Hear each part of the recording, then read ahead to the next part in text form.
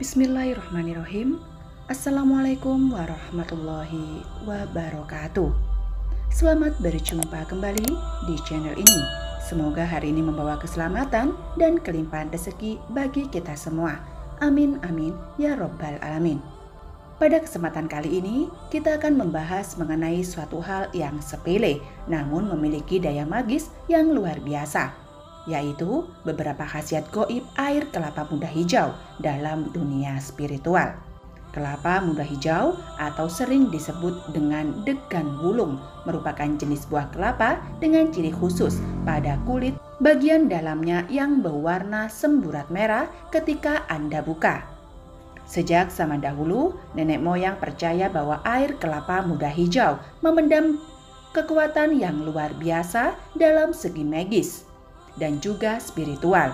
Air kelapa muda hijau dipercaya merupakan kumpulan dari energi alam semesta, di mana adalah perpaduan antara elemen api dan elemen air yang sangat dahsyat. Elemen air yang disimbolkan oleh warna hijau dari kulit luar kelapa wuluk mampu bersinergi dengan elemen api yang disimbolkan oleh warna semburat merah. Kedua elemen ini membentuk suatu energi baru yang bersifat memurnikan dan meleburkan kedua elemen alam semesta. Inilah yang dipercaya mampu memberikan berbagai khasiat magis. Berikut ini adalah beberapa khasiat magis air kelapa muda hijau dalam dunia spiritual, di mana pada urutan yang pertama adalah sebagai media pembuka aura yang tertutup. Jika Anda merasa bahwa aura dan pesona Anda kurang memikat, maka air kelapa muda hijau ini bisa menjadi salah satu pilihan yang terbaik untuk memperbaiki hal tersebut. Tanda jika aura seseorang tertutup ataupun redup adalah akan mengalami kesulitan dalam mencari jodoh meskipun memiliki wajah tampan ataupun cantik. Hal tersebut dikarenakan aura yang buruk akan membuat orang menjadi tidak nyaman ketika berada di dekatnya. Selain itu, juga akan sangat terasa dari segi kerezekiannya, di mana orang yang auranya tertutup kebanyakan jalan hidupnya seolah-olah buntu, juga akan selalu merasa sial serta jauh dari keberuntungan. Untuk mengatasi hal demikian, maka Anda bisa memanfaatkan perpaduan antara energi bulan purnama dengan air kelapa hijau. Caranya yaitu dengan membuka satu buah kelapa hijau. Bukalah dengan mengepras bagian ujungnya saja Kemudian letakkan kelapa tersebut di tempat terbuka yang langsung terkena cahaya bulan. Energi dari bulan purnama akan merambat masuk ke dalam air kelapa muda yang Anda taruh tersebut dan akan memberikan tuahnya sebagai pemicu bagi kelahiran baru serta penarik hal-hal yang bersifat positif. Pada keesokan paginya, gunakanlah air kelapa muda hijau tadi untuk mencuci muka Anda dan akan lebih bagus jika Anda diamkan sampai sekitar 15 menit sebelum memilasnya dengan air. Lakukanlah hal ini sebanyak 3 hingga 7 kali setiap bulan purnama tiba secara berturut-turut. Dan yang paling penting, jangan sampai terlupa atau terputus di tengah jalan. Karena jika hal tersebut terjadi, Ritual ini harus dimulai lagi dari awal. Khasiat goib air kelapa muda hijau urutan yang kedua adalah sebagai media untuk penarik rezeki. Jika Anda ingin memakai air kelapa muda hijau sebagai media untuk rezeki, maka Anda harus menyiapkan dua hal berikut ini. Yang pertama, tentu saja adalah satu buah kelapa hijau, dan yang kedua adalah segayung air dari sungai. Dengan aliran air yang deras, kelapa dan air sungai tersebut harus Anda petik dan ambil pada saat malam Jumat. Dan malam Jumat di sini bebas, bisa malam Jumat Kliwon, malam Jumat Legi, dan lain sebagainya. Hal itu dikarenakan malam Jumatlah malam yang dianggap membawa kebaikan yang begitu besar dari alam semesta. Ketika dua hal tersebut sudah terkumpul, maka pada keesokan paginya campurkanlah antara air kelapa muda hijau dengan air dari sungai yang beraliran deras ke dalam suatu wadah. Air campuran ini Anda cipratkan pada halaman depan warung tepat sebelum waktu operasional dimulai. Dengan mendambahkan doa ataupun tidak, air campuran tersebut memiliki daya magis yang besar untuk mendatangkan banyak pembeli Hal itu dikarenakan aura manis dari air kelapa wulung. Ketika ditambahkan dengan energi dari aliran air yang deras, dipercaya akan membuat suatu tempat usaha bisa menjadi ramai. Selain digunakan pada tempat usaha, campuran air tadi juga bisa dimanfaatkan untuk melancarkan kehidupan dan karir Anda.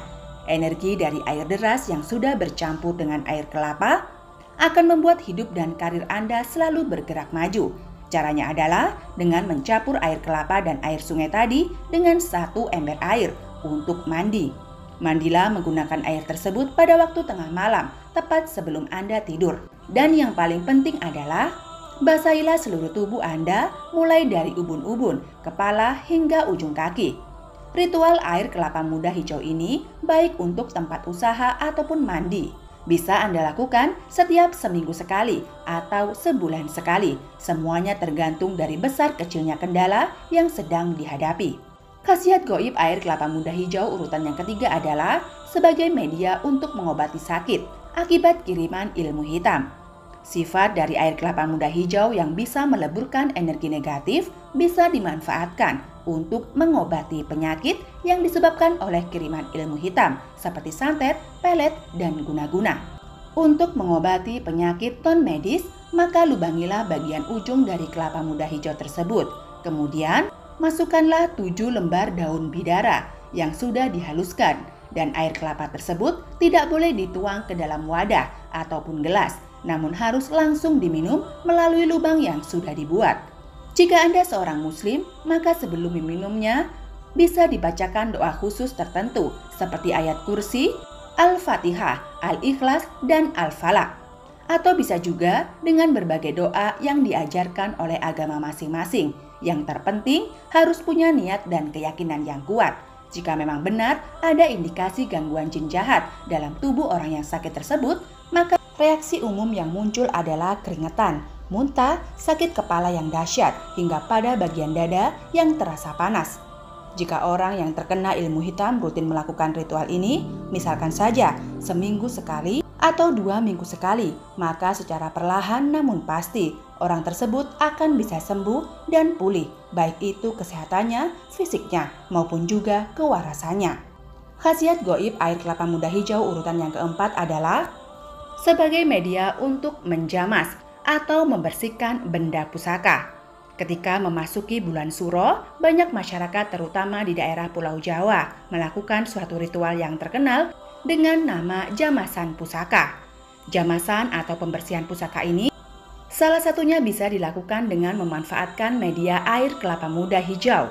Air kelapa muda hijau selain akan membersihkan karat atau kotoran fisik, juga akan bisa membersihkan kotoran yang bersifat metafisik, yaitu mampu melebur semua energi negatif yang menempel pada benda pusaka tersebut. Sehingga dengan demikian kemurnian tuah dan kesaktiannya akan tetap terjaga. Khasiat goib air kelapa muda hijau urutan yang kelima adalah sebagai media penyambung antara leluhur dengan anak cucunya yang masih hidup. Kelapa muda adalah salah satu buah yang sering dipakai sebagai sesajen dalam upacara adat atau ritual keagamaan tertentu, terutama yang berbau dengan penghormatan terhadap leluhur. Hal tersebut dikarenakan Kelapa muda adalah simbol dari kemurnian, maksud, dan kebulatan tekad dari para anak cucu yang masih hidup. Kandungan air di dalam buah kelapa muda hijau dipercaya juga akan membuat doa yang dibacakan atau dipanjatkan menjadi cepat terkabul.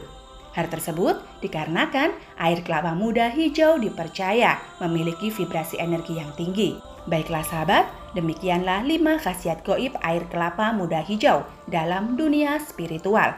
Semoga bisa memberikan wawasan baru yang bermanfaat bagi Anda semua. Dan sebagai penutup, kami doakan agar Anda sekeluarga senantiasa sehat, selamat, dan berlimpah rezekinya. Amin amin ya robbal alamin. Wabila taufik wal hidayah. Wassalamualaikum warahmatullahi wabarakatuh.